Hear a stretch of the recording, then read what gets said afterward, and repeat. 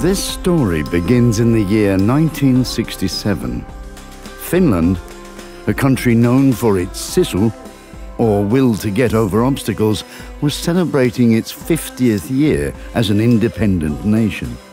And you don't throw a party without gifts. Sitra, the Finnish Innovation Fund, was a gift for the Finnish people. An organisation owned by the people with an objective to build a better future for them. You could do worse when it comes to giving gifts.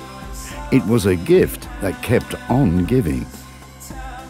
So, how do you build the future? You identify, predict, analyse, and assess the forces of social change. We begin with information.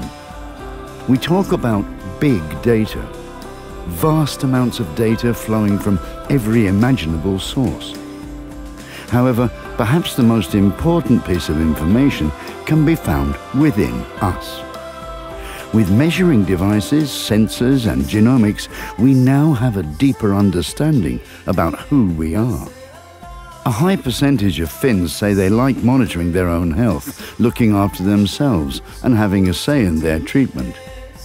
But there is a significant gap between this understanding and our healthcare systems.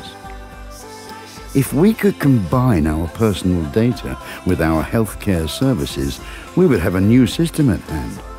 A system based on real human needs. It's time to move from nursing to health promotion. Do you ever stop and wonder about all the weird, amazing signals and functions we are made of. With advanced electronic services alongside traditional healthcare, we can give people more and more options when they're in need of treatment. Imagine getting treatment via webcam from the comfort of your own home. Self-care aims to make our lives easier by giving us more opportunities to look after our own health. In fact, one in three Finns would be willing to reassess their lifestyles if they had more specific information on their personal hereditary risk factors. With genome information, we can provide more precise and effective treatment. The next step is to put that information in use on a national scale. But first we have to answer a question regarding the sharing of genome information. Are we prepared to face the issues of legislation and ethics? Because such important matters are not just for the experts to decide. We need to give the people a say in the matter. This is about us. Wisdom begins with wonder.